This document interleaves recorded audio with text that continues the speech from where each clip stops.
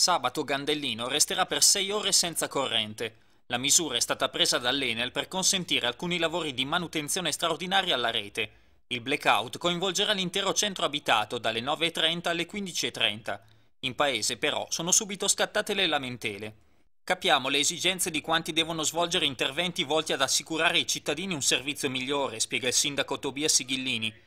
Non entriamo nel merito tecnico dei lavori da svolgere, cosa che non ci compete, Rileviamo però che il Comune non è stato in nessun modo coinvolto nella pianificazione di questo blackout prolungato, tanto che siamo stati informati dall'avviso diffuso mercoledì in paese, avviso che ha creato malumore anche in molti cittadini, che sono venuti in comune a chiedere spiegazioni.